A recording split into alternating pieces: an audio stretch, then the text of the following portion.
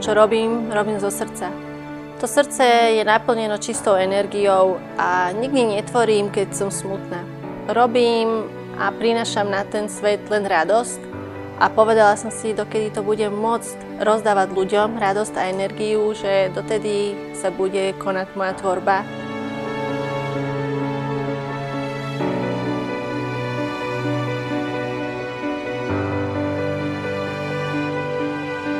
Ja si snažím zatavovať do tých svojich obrazov niečo vždy, čo sceluje ten pocit, patrím niekomu, držím pokope s niekým. Vždy sú to nejaké symboly rodiny, vždy sú to symboly radosti a väčšnosti.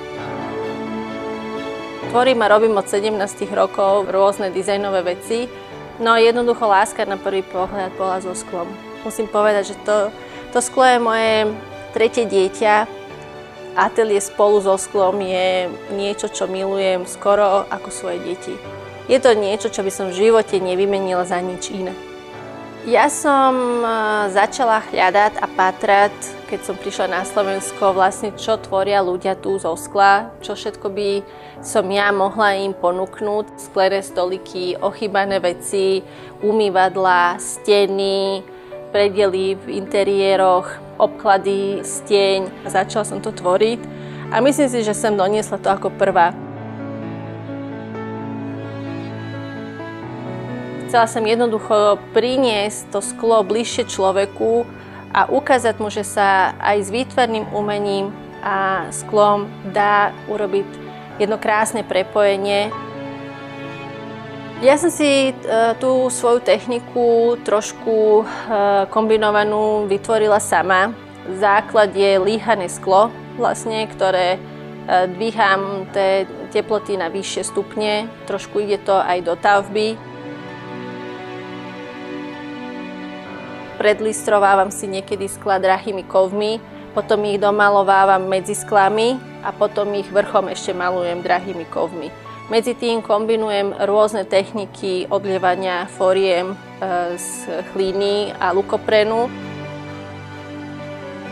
Sa tá diela viažú na veľmi významných ľudí. Musím povedať, že sú to ľudia, ktorí majú až nesmiernu moju úctu, musím povedať. E, robila som pre pápeža pozitívna reakcia, ktorá prišla potom z Vatikánu, pre mňa bolo asi eh, také, že akože by som sa nadýchla ešte raz v živote. Bolo tých momentov viac. Robila som pre kráľovnú Alžbetu eh, šperkovnicu, ktorá mala veľký úspech. Zároveň som bola pozvaná aj na večeru, aj na audienciu. Bol tu aj norský král, bolo tu strašne veľa prezidentov sveta, bolo tu rôzne osobnosti, ktoré dosiahli niečo veľké v živote.